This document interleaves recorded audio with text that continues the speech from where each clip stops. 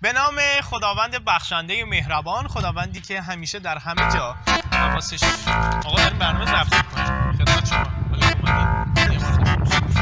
عرض کنم خدمتتون که خداوندی که همیشه در همه جا. حواسش به من به شما و تمام یه لحظه جانم. عذرخواهی می‌کنم. من وسط ضبط من مزاحم شدم این بابت ماسکتون خیلی ممنونم. واقعا تو این شرایط واقعا لازم و کار خیلی پسندیدنیه ولی